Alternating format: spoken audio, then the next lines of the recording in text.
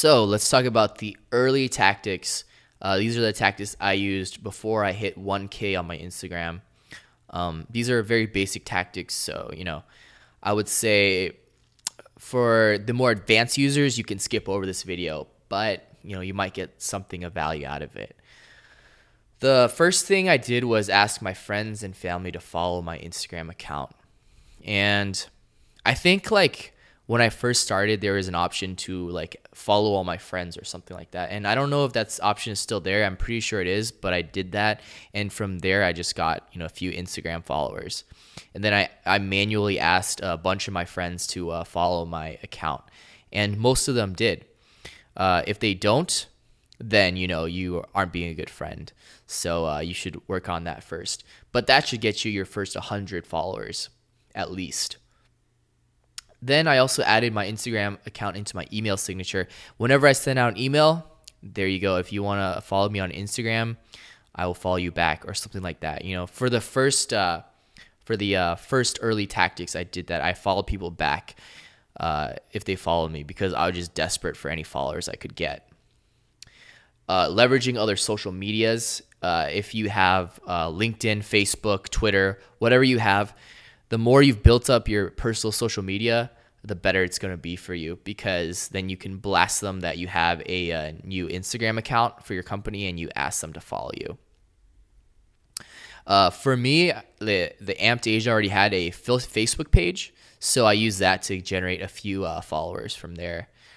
Um, and then uh, oh yeah, and before we even go through the process of of uh, highly asking everybody to follow me, I actually already had 25 pictures, and I used uh, hashtags for all my pictures.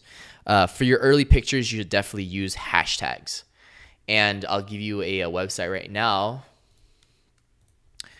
Tags for likes.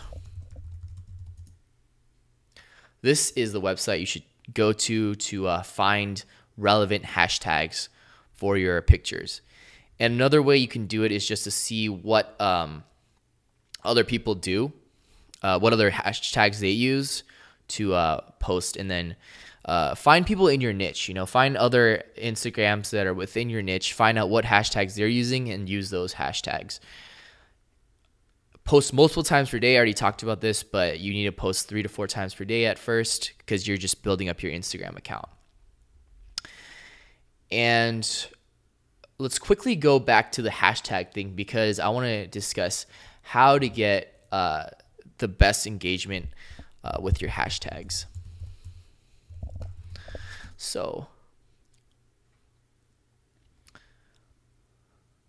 This is my friend's brand. I actually started this company with him, but I ended up exiting.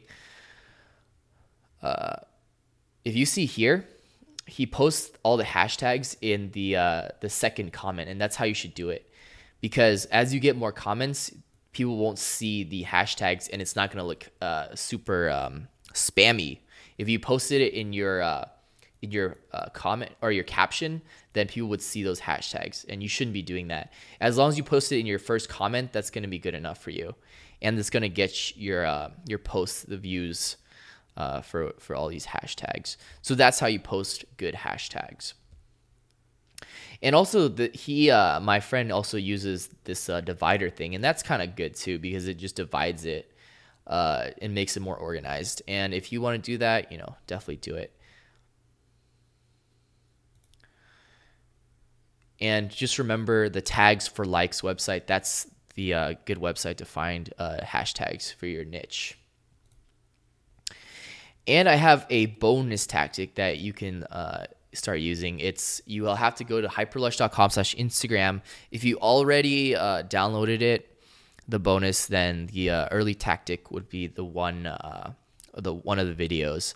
So that is actually a really really good tactic i'm not going to talk about it here because i want you to sign up at the uh, hyperlush uh, link that i have over there